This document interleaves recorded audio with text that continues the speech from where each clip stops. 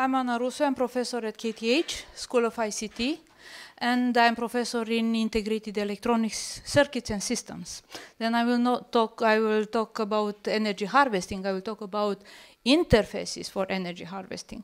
Earlier, uh, I, Stuart, he said about electronics. Exactly, electronics are part of this system. Otherwise, whatever you can generate with your harvester, if you do not have some interfaces called uh, power management to keep with high efficiency to lose as uh, as uh, more as possible as, as li little as possible from the energy that you have from the harvester does not make any use.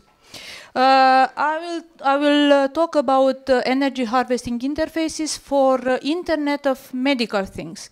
I'm working currently with medical applications and energy harvesting for such kind of medical applications. As you may know, uh, from around. A lot of uh, uh, interest is today to move to more personal medicine where you have sensors around your body or inside the body implanted to read different biosignals to monitor, to detect uh, uh, diseases and so on.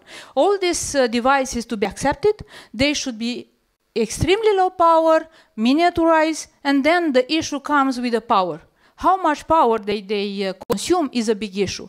Do we want to be uh, powered by batteries, when, especially when it's implanted? No, because the idea is to have a device that is implanted and forget about if you have battery, battery lasts for one year maybe. Then you have to have a surgery. No patient will want to have a surgery in one year. Uh, and the solution is uh, uh related, related to energy harvesting. Then the energy harvesting can provide self-powering or at least to extend the lifetime of batteries. What kind of energy uh, solutions we have with the uh, body? There are uh, three main solutions within the body, and there are for free. Temperature is not temperature only outside, within the body. We have the body heat, is the difference in temperature within the body that we can harvest, is for free. And another one, uh, biofuel cells, glucose, we have in the body. We can use it. Why to, to, to lose it, correct? But the energy efficiency of this is extremely low. The third one is uh, kinetic energy, but it's not very useful for certain diseases when, for instance, the patient is lying in the bed uh, because means some movement.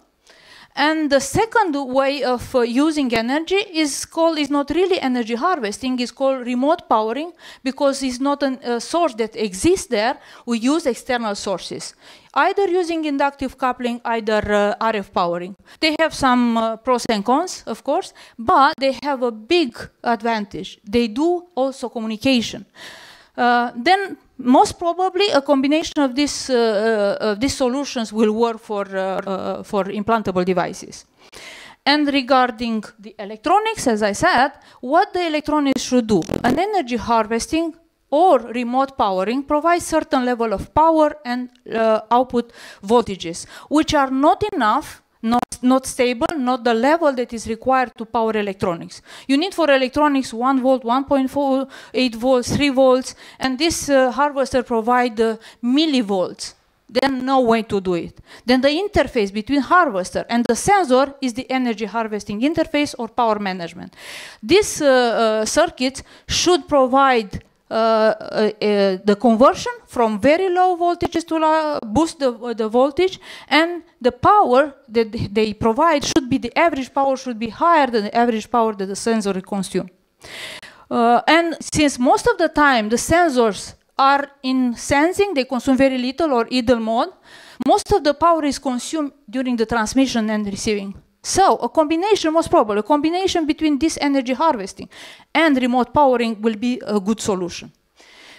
O however, all this will require customized solutions. If you uh, buy a component from a big company, will not work, does not exist for such use. But even for the solution the uh, previous speakers uh, have been talking about, you need a customized solution that to, to provide the highest energy efficiency.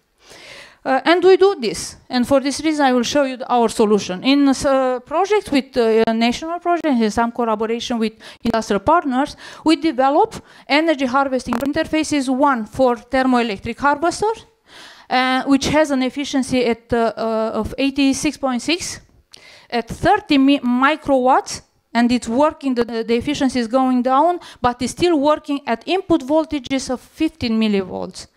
Extremely uh, good efficiency for such kind of solution.